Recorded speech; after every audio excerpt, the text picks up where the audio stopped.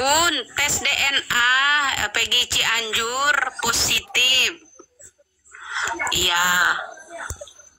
Iya, aja. juga? Iya. Iya, udah selesai. Sudah. Ya. Selesai. AF, nah saya saya kasih tahu ya. AF di mana? Bisa jadi AF lagi mau dapat jabatan. Nah, tangan saya ya. Lihat aba-aba tangan saya ya.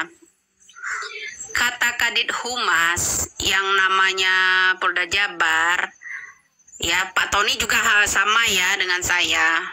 Nanti boleh tanya.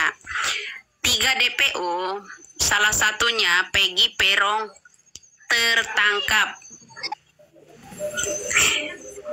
Tertangkap, ya tertangkapnya oleh siapa? Ya. Siapa yang menangkapnya?